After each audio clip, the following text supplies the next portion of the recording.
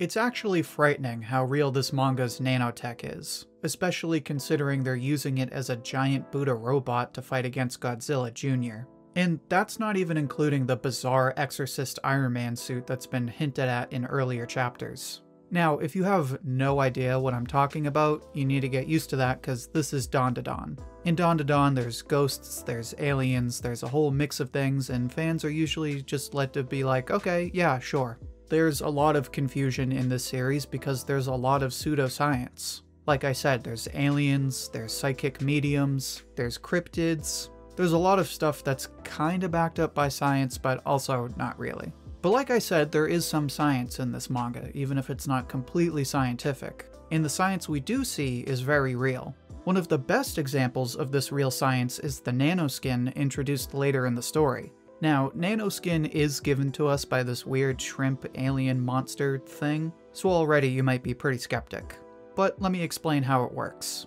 The shrimp alien, his name is Peeny Weeny by the way, the shrimp alien tells us that nanoskin is shape memory alloy made of high density nanomachines. Essentially, the way it works is you have these building blocks made out of these nanomachines, and by visualizing a certain image in your head, the nanomachines react to that image in your head and then make that image. Now, I know this sounds like magic, it sounds pretty broken, but like I said, this can be broken down into two real examples of science. First, we can just bang out shape memory alloy. This one is exactly how it sounds. There are certain metals, alloys, that remember shapes. It remembers its original shape, so you can always put it back to that shape. Now, that was pretty easy. The more sophisticated part is the nanomachines. You probably get very different ideas of nanomachine based on your experience, so let me be very clear with what we're talking about. You might know them as nanobots or nanotech, but nanomachines are actually the best way to think about it. They're exactly what they sound like. They're little machines that are the size of a nanometer. They're not necessarily little tiny robots, and in fact, if we're basing this off of modern science and what we're capable of right now, these little machines don't even have computers or AI. They're literally just little machines the size of a nanometer. So, in Dandadan, when the characters are using nanoskin to build things, they're essentially just rearranging these nanomachines to build whatever they want. Now, when I say that, that probably brings up at least one or two questions. Some of you might be thinking, okay, so this manga is literally just Minecraft, right? Others might be thinking, okay, so this nanotech is literally just Iron Man, right? And in both cases, yeah, you're both kinda right. Now, like I said, I know it looks like magic, but this is real science. And like any real science, it has very real limitations. For example, just to make sure we're clear about this, because you might be confused on it, these nanomachines are not controlled by AI. That's not how they're controlled in the real world, and that's definitely not how they're controlled in Dandadan. In Dandadan, you have to deliberately shape the nanoskin, and if you just leave it there, it'll just retain its shape. So we can pretty much deduce that the nanoskin isn't self-thinking or self-learning. As a result, it's implied that it has the same limitations as the nanotech we have now.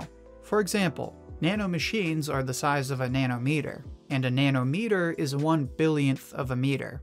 Now, you might be thinking, if it's this small, it should be able to control atoms. Well, an atom is actually one tenth of a nanometer. So while you might think a nanomachine can control an atom directly, the reality is that they're just way too big. You can manipulate atoms, you just can't rearrange them. It's essentially the difference between being able to shape sand however you want and being able to turn something like beach sand into gold dust. This is essentially how nanometers are able to influence atoms. Now, there's also an analogy to Iron Man that I'm gonna make in a little bit, but I don't want to mention right now because it's gonna spoil what I'm working up to. So, we know how nanomachines work in Dandadan. You can't necessarily rearrange atoms, but you can take those nanomachines and rearrange them however you want. The only question we have left, naturally, is how the heck does that work? Well, let's just think about what the characters are literally doing. They're thinking of an image, and the nanomachines respond to them thinking of that image. So the nanomachines are essentially reacting to our brainwaves. And yes, brainwaves are really a thing.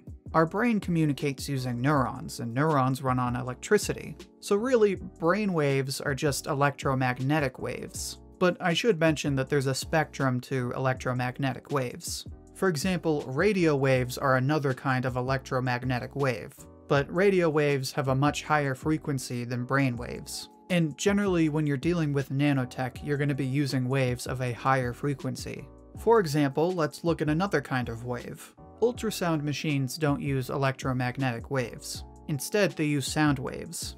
And it's exactly what it sounds like. It's an ultrasound machine, so it's using high frequency sound waves. And it uses those sound waves for imaging. In the context of nanomachines, you can actually control them by coating them in gold. That way, they react to ultrasound and you can actually control them using the ultrasound. Now, sound, like electromagnetic waves, is just another form of energy. So the basic idea is that you're using energy waves to control nanomachines without batteries or AI.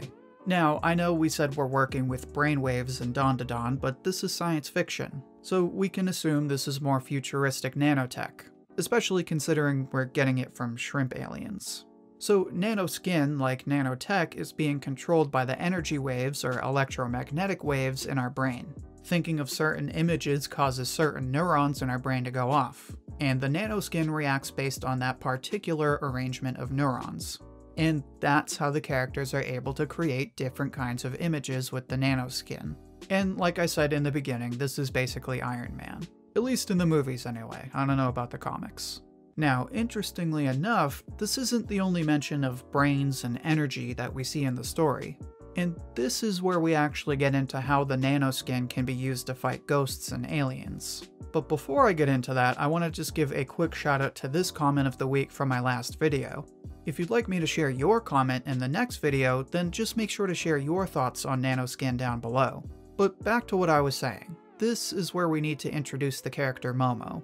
Momo is one of Dandadan's main characters. She's goofy, she's stubborn, and she really likes this actor named Ken Takakura. She also really likes Golgo 13. Kinda random, but also really in character for her. But most importantly, Momo has psychic powers. And right in time for Mob Psycho Season 3, I might add. Now, obviously psychic powers are pseudoscience, but in the context of Dandadan, we have a lot to work with. The big giveaway is that Momo's psychic powers are visible, her powers are visible because you can literally see these hands grabbing onto things. And when she's looking at someone's aura, it's a very visible thing. So when we're talking about something that's visible, that means it has to be somewhere on the spectrum of light. And when something is visible and it's on the spectrum of light, that means we're dealing with electromagnetic waves. And we already know that brain waves are a kind of electromagnetic wave.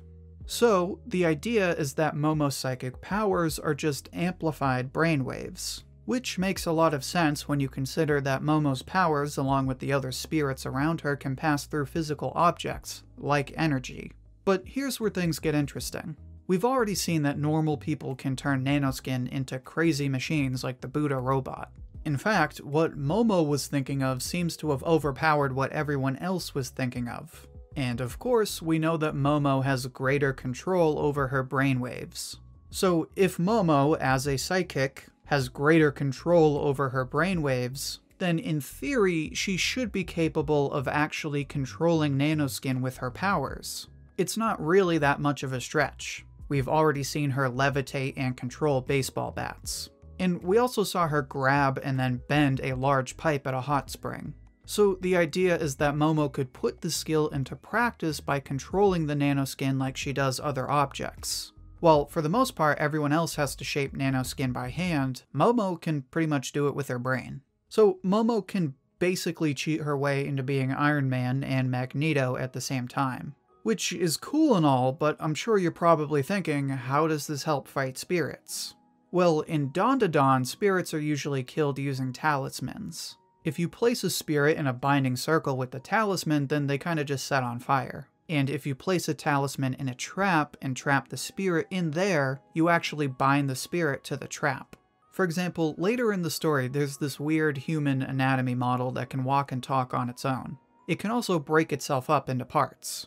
So when there's a really strong spirit that they need to bind, the characters take that spirit and put it into the model, and then trap it by putting a talisman in that model. So think about what Momo could do if she tried doing this with nanoskin.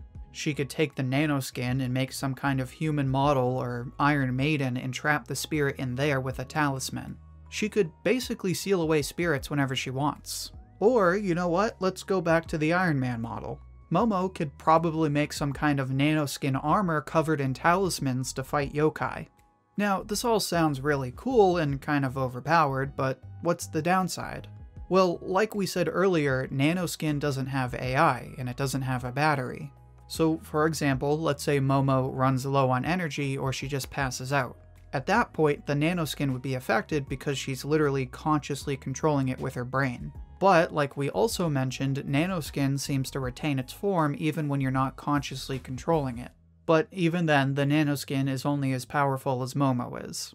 Now, that's the downside. The upside is that this is a major improvement to Momo's powers. Momo usually has to deliberately think about binding a spirit to be able to do that. With this, she can basically just bind it the one time and then leave it alone. And while normal people seem to have pretty good control over nanoskin, if you had better brain control like Momo, then this would actually allow for more sophisticated rearrangement of the nanoskin.